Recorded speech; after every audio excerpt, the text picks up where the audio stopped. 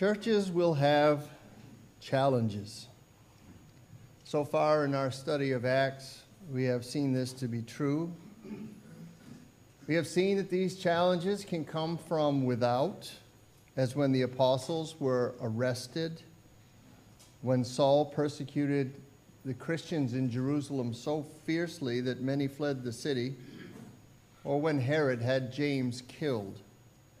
Sometimes these challenges will come from within, as we saw with Ananias and Sapphira, who wanted to be perceived as more generous than they were. Simon the magician, who wanted to purchase the gift of the Spirit for his own power. The Hellenist widows who complained because they were being ignored in the distribution of food. Churches will have challenges. This past year, several of my colleagues in ministry have faced real and significant threats to the health and the unity of their fellowships. That is not always the case in my circle of pastor friends, but it is often the case. Churches will have challenges. So, as we come to our passage this morning, we're not surprised to learn, and Luke's not afraid to tell us of a challenge. You know, one of the strongest cases to be made for the authenticity of the early accounts of the church is its transparency. The New Testament writers aren't interested in, in just sharing the good stuff, they share the good, the bad, and the ugly. And what's happening here in this juncture of church history is bad and it's, it's turning ugly. It is a true challenge. It may be the biggest challenge to date facing the early church. What is at stake is what it means to be a Christian. This is a challenge over doctrine, what is to be taught, and what is to be believed when it comes to being a Christian. The story starts in Syrian Antioch, where Paul and Barnabas have returned after their missionary journey and shared with the congregation that sent them all the good news of the good work of God's favor, God's grace among the Gentiles. It's in the midst of this good report that we read 15 verse 1 some men came down from Judea and were teaching the brothers unless you're circumcised according to the custom of Moses you cannot be saved. These men are of a sect that would come to be known as the Judaizers. They believed in Jesus, but they did not believe a person could be saved simply by believing in Jesus. They held that a person who wants to be saved must also follow the Mosaic law. So, in simple terms, they are adding to the gospel. Their sense of how salvation is attained and how salvation is maintained was not, as the reformers would put it, by grace alone, through faith alone, in Christ alone, their version of how to be saved was more along the lines of this Jesus and. Jesus and something else. Jesus plus works of the law. In this case, specifically, they're talking about circumcision. And you might feel, well, that's a silly thing to require or an odd place for someone to draw a line. But in fact, circumcision was the ritual instituted by God whereby his people would be set apart and known as his people. Circumcision was a sign of the covenant between God and Abraham, between God and the Jewish nation. Of course, we know Jesus came to bring a new covenant. And he said that I bring a new covenant, a new covenant in his blood. Not the letter of the law, but the spirit. But these Judaizers didn't quite grasp this, and we can hardly blame them. Have you ever been part of a startup of anything where you thought it would be this way and it turned out being that way, and you thought it would go in this direction and it went in that? There's so many variables involved, right, in a startup. Well, imagine this these first 10 to 20 years after Pentecost. This is the startup of Christianity. And there was a lot to take in, and there was a lot to learn, and there was a lot of dots to connect, and there was a lot to discard, and there was a lot to unlearn. So we can be gracious, I think, to these Judaizers because they were very likely truly sincere in requiring obedience to the Mosaic law. That's what they thought would be necessary to be one of God's people. Commentator Kent Hughes writes this He said, They were not bad people at this point, but given time, their views, tightly held, would pull them so far away from the doctrine of grace that they would become apostate. We are all influenced by our backgrounds. Each of us has experienced some doctrinal or practical distortion because of past experience or environment. The challenge is to identify those points of error or misemphasis before we drift too far away from Christ. If you've grown up believing that salvation comes by works, the message of salvation by grace would be hard to hear and hard to grasp and hard to believe. So the Judaizers, at least initially, are very likely well meaning and sincere, but as a great professor of mine once said, it is possible to be sincere and sincerely wrong. They were wrong. And Paul would clarify this later in his letter to the Colossians. Colossians 3:11 says, "There is not Greek and Jew, circumcised and uncircumcised, barbarian, Scythian, slave, free, but Christ is all and in all." These distinctions don't exist in Jesus. The Judaizers were wrong, and to put it mildly, the false teaching that they were perpetuating was disruptive. In chapter 15, verse 2, we read that Paul and Barnabas had no small dissension and debate with them, which is a very kind and nice way to put it. No small dissension. How would you translate that? That's a big dissension. Anybody get the message? What does the message say? There was probably a row. No small dissension is a nice way of saying there's a large dissension. This is a hot topic. The back and forth is very heated. The church is at a crossroads. The issue couldn't be resolved among the parties that were present, so a delegation was formed. Paul and Barnabas and some of the others were appointed to go up to Jerusalem to the apostles and the elders about this question. We note here, I'm not going to spend any time on it at all, but we note here in chapter 15 the transition of leadership in the Christian church from the apostles to the elders. You're going to see it again as well. Good on the church for facing this challenge. Kudos to them for taking action to find resolution. You know, many Christian churches, perhaps the majority, do not handle conflict well. Many are surprised by conflict, some are blindsided by conflict, and a lot of churches choose not to address it at all because it's unsettling. No one in their right mind likes conflict and controversy. Ignoring it, however, is a bad option. Mike Minter is a pastor, and he writes for the Gospel Coalition an article titled The Three Stages of a Pastor's Life. He makes a bit of a confession here and he gives pastors some advice about handling disagreements. He says, This is one of my greatest regrets. I love to make peace. I tend to run away from conflict. That has cost me dearly. You don't need to chase down every concern, but when you sense something is rotten, it's time to check it out. Stamping out a small spark is easier than putting out a raging fire. I have the burn marks to prove it. Any small sparks in your life today, friend?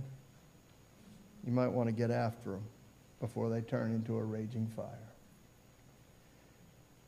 Churches will have challenges. And as unsettling as this can be, the goal for churches, for believers in those churches, is to handle those challenges in a God honoring way. So often in arguments, our goal is to prevail, is it not? To come out on top, to get our way. And yet, in all things, we are to do what is pleasing to the Lord. It's His will and not ours that should be supreme in all situations. And so, the goal in addressing conflict individually in our lives, corporately, as a fellowship, is to please Jesus. It's to please the head of the church. And that's why we ask our new members here at United Baptist to become acquainted with the principles of biblical peacemaking. why it's a core class and why we offer it over and over and over again and why we still have material that's just about as well it's older than some people's kids here that's for sure but it's good it's dated but it's good because we want to have a common biblical knowledge when it comes to the principles of keeping peace. And we want to have a common vocabulary when it comes to talking about how we can make and sustain peace. We want to be able, as a church, to address these sparks before they become a raging fire. And friends, you, you must know this. In body life, when you get this many of us flawed people together, from time to time, there's going to be sparks. That's just the way it is. The believers in Syrian Antioch recognize and acknowledge the impasse they're at. It's not a small matter that can be overlooked. The unity of the church is in peril. The foundational doctrine of the church is in question. Mike Minter is right. Not every concern needs to be chased down, but issues of unity and doctrine have to be resolved. They must be resolved. Unity and doctrine are key.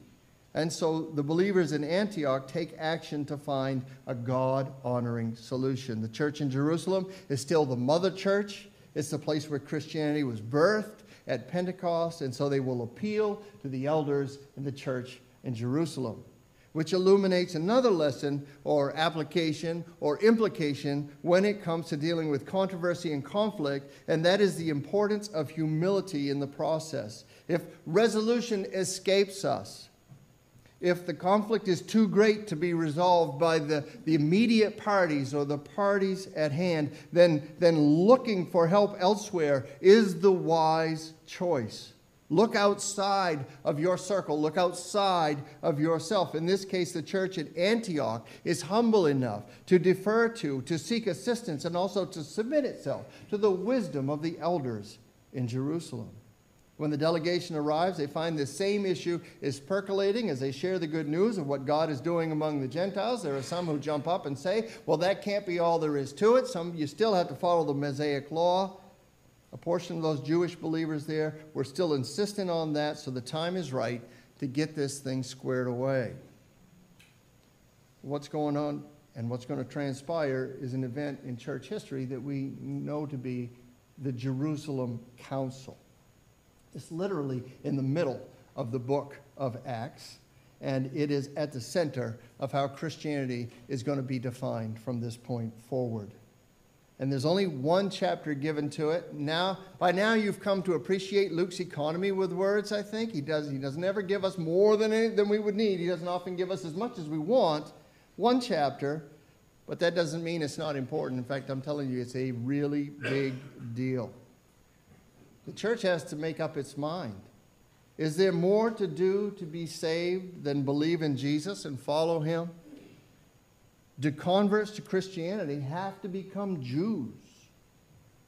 Well, the next many verses record a speech given by Peter, who, after a vision from God and his interactions with Cornelius that we covered in chapter 10, is clearly convinced that God intends to save the Gentiles and everyone, for that matter, by faith he argues that God has given the Gentiles the same Holy Spirit that the disciples have received, that He has, in fact, cleansed their hearts by faith, which is what the Holy Spirit does. And look at verse 11 but we believe that we will be saved through the grace of the Lord Jesus, just as they will. Everybody's going to be saved by grace. The Spirit comes into us, cleanses our heart by faith. We are saved by grace. Grace of course, being the undeserved favor of God. That is the only way to be saved. Peter's presentation is followed by the testimony of Paul and Barnabas, who relate the blessings of God on their missionary work among the Gentiles and the provision of signs and wonders and many conversions.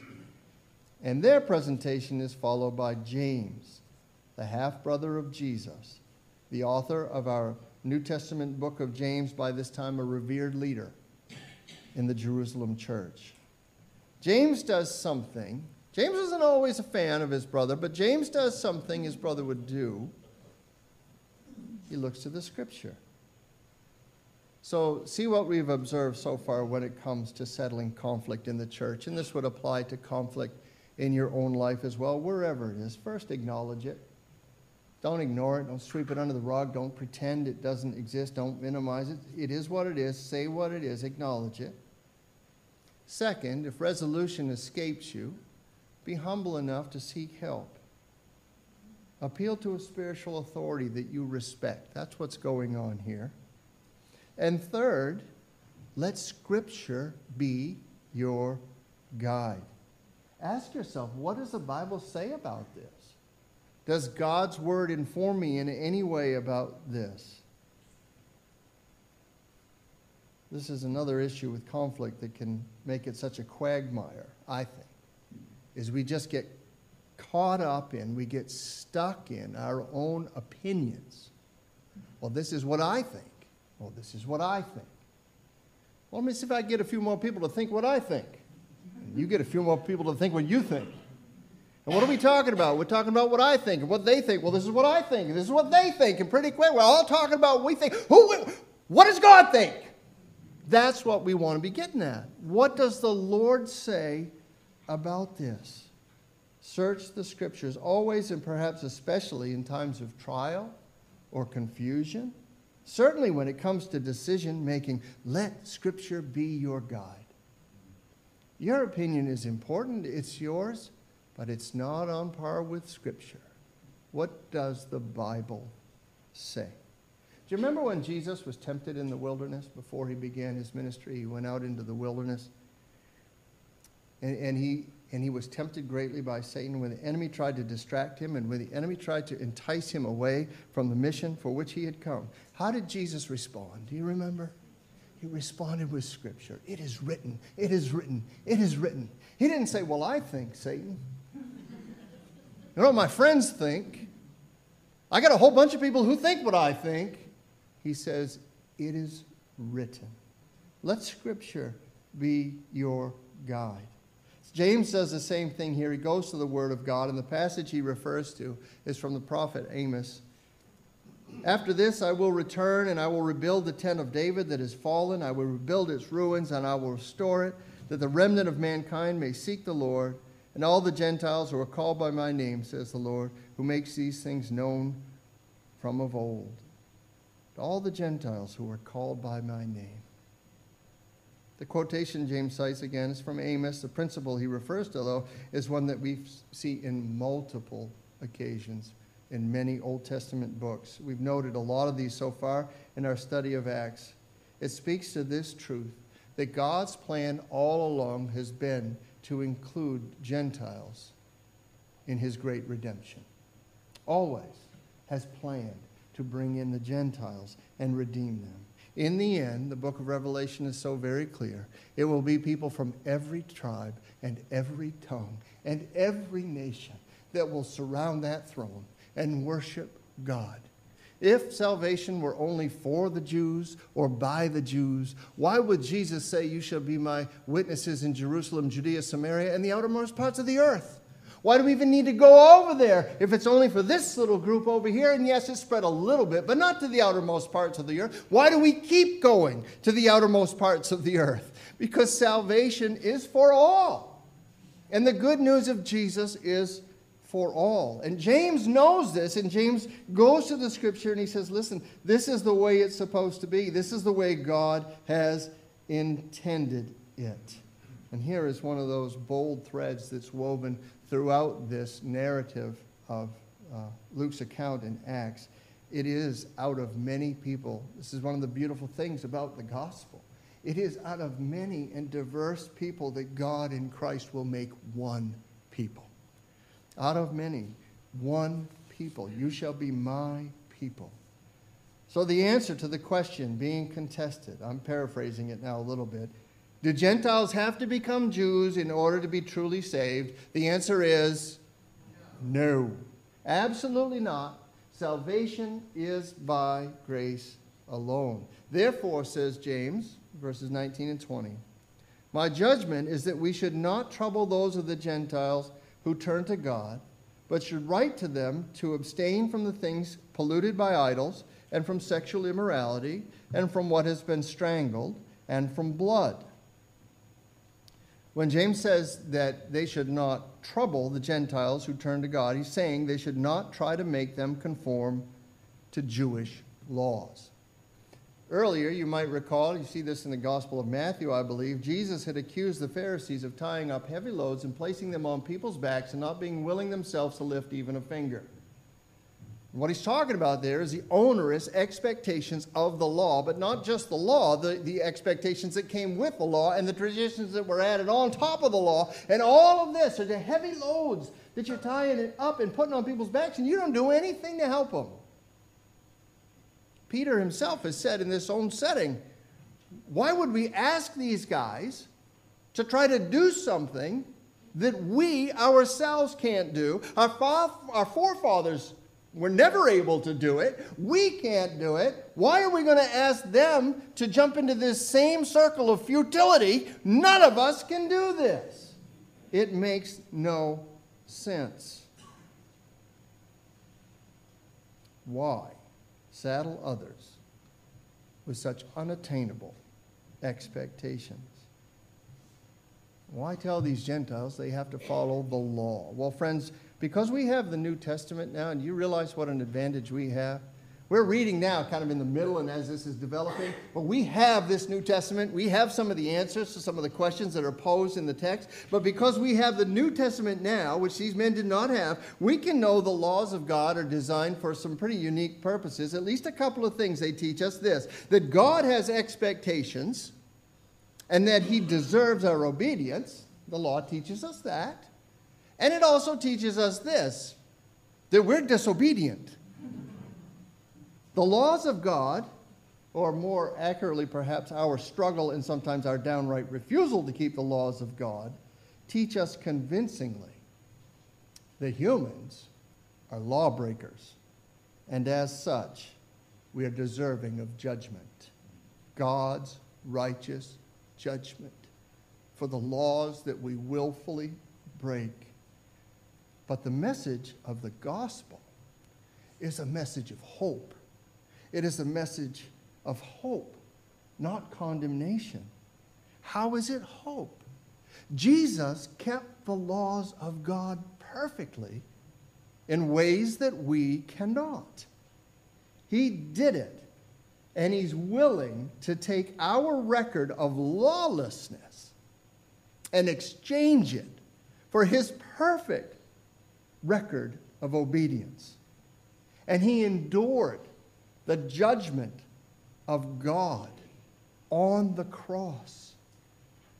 The judgment for our lawlessness when he hung there and died. He was killed to atone for our sins, and he rose, having paid the penalty for our law breaking sin debt in full crushing with his resurrection the power of sin and death and extending the promise of everlasting life to all who will believe. You see then why the Apostle Paul is so adamant here and why he, he uh, writes in the book of Galatians so to confront the Judaizers. You see how, how demanding continued adherence to the law promoting in any way a message that salvation is by good works flies in the face of the good news. The message of Christianity is we can't do it, but Jesus did. That's the message of Christianity. In short, you can get at it a hundred different ways, maybe more than that. But we can't do it, but Jesus did. The message of Christianity is not suck it up, buttercup. Get out there and try a little harder. That's not it at all. Not it at all. The message of Christianity isn't try to be good enough. You can't be good enough. We can never be good enough. But you know what? Christ was. And he offers his righteousness to us to be received by faith. It's that simple. It's that simple. You in your heart know you are unrighteous. If you want to be counted righteous before God, accept Jesus Christ as your personal Savior. He will make you a new creation. It's what the Bible says. He will save you, and you will be righteous before God. Even in your perfection, imperfection, friend, you will be perfect before God because of Christ. James and the Jerusalem church decide that compliance with the Jewish law will not be required, and so they issue a decree. Now, for a long time, this decree coming out of the Jerusalem Council has puzzled me, has confused me. I never really got it. It always seemed to me to be kind of arbitrary. Honestly, when you look at what they have to say, I look at that and I say, it's kind of hodgepodge here, you know, of all that's involved in living a good life, a holy life, a Christian life, and all there is to do that brings honor to God, of all that a convert to Christianity coming from a heathen upbringing would really need to know. Are these the top four? Is it really of utmost importance to avoid what's been strangled? To stay away from blood. Ben, ben Witherington helps us with this decree in his commentary in Acts. At least he posits a theory. It makes good sense to me. Rather than understand the elements of this edict as relating to four separate issues, which would be random allusions to bits and pieces of instruction that you can find in Genesis and you can find in Leviticus. He sees them together as one in the context of their intended audience, which uh, would be Gentiles having grown up with and being used to participating in the rituals of pagan worship. Each of these practices noted in the decree would have been part of that pagan worship. Just as the Jewish people brought their sacrifices to the Jerusalem temple, offered them to their God, so the Gentiles brought their offerings to the temples of their gods and offered them, the home of their idols. The term translated sexual immorality is the Greek porneia, and the allusion is to prostitution, and pagan worship was well known for its cultic prostitution. Animals offered to those false gods would often be choked to death, would often be strangled. Sometimes the priest would taste their blood as part of the ceremony. So these four elements noted together in the decree all find commonality in this one act in the context of pagan worship. And since that is the case, what the Jerusalem Council seems to be saying is this the Gentiles have turned to the living and true God. They are now being asked to turn from idolatry and its accompanying acts of immorality. Now that makes sense, and that is simple. Not coincidentally, this is how Paul describes and commended the Christians in Thessalonica. They too, coming out of a Gentile background, but listen to what he says, 1 Thessalonians chapter 1, verses 7 through 10. For not only has the word of the Lord sounded forth from you in Macedonia and Achaia, but your faith in God has gone forth everywhere, so that we need not say anything. For they themselves report concerning us the kind of reception we had among you, Listen, and how you turned to God from idols to serve the living and true God, and to wait for his Son from heaven, whom he raised from the dead, Jesus, who delivers us from the wrath to come.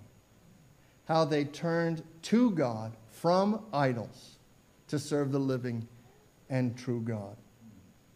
That's Christianity, isn't it? That's Christianity in a nutshell. That's what we do. We get confused sometimes, I think, and I, perhaps we're guilty of, of, of um, you know, promoting this confusion. But I, somehow a lot of people think that to become a Christian, you have to first get yourself cleaned up and acceptable. And then you come to Jesus. And what I want to be clear about today is that's not what it is. You don't get yourself cleaned up and acceptable and come to Jesus. You come to Jesus, and Jesus makes you cleaned up and acceptable. Okay? So there's no reason to tarry, no reason to pause, no reason to say, well, I just got to get a few more things in order and now I can come to the Lord. I'm saying, come now, come now, and let Him do what He will do, what you haven't been able to do, and what you probably won't be able to do, no matter how hard you try. That's what Christianity is. Christianity is turning from that, that wrong worship, that false worship, those idols, those things that cannot satisfy, and turning to the true and living God.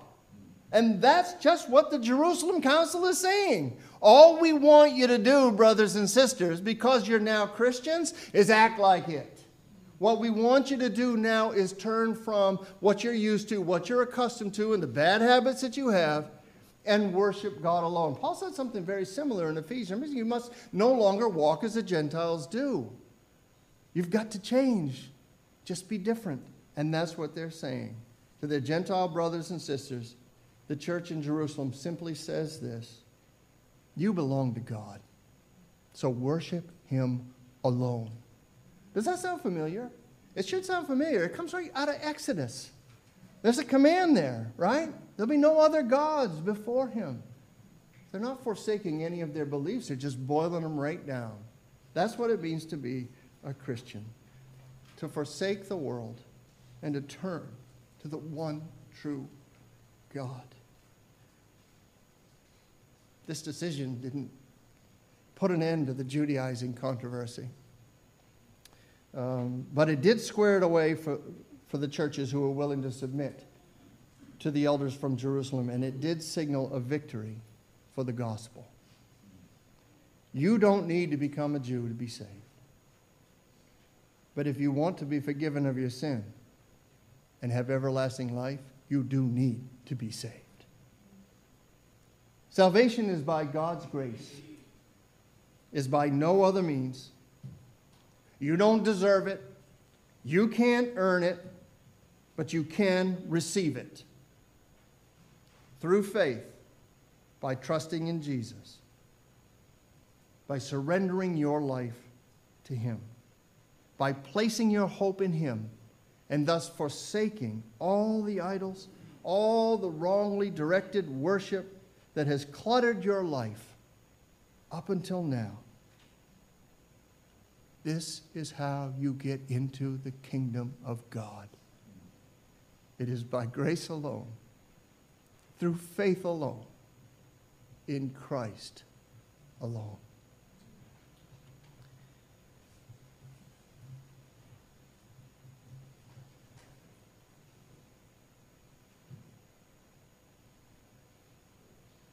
Our Father, we rejoice in this gospel message, in this message of grace, freely given, freely offered, freely extended. In these moments, Lord, would you take and melt our hearts? Melt any hardened heart. Make the hearts of stone hearts of flesh. Would you knock down the walls of resistance? And let everyone here know how much you love them. Give them grace to receive your grace, the gift of your Spirit, to see our true condition, the motivation by your Spirit to have it changed. We pray and ask these things that you might be glorified in the salvation of those you bring to glory. In Christ's name, amen.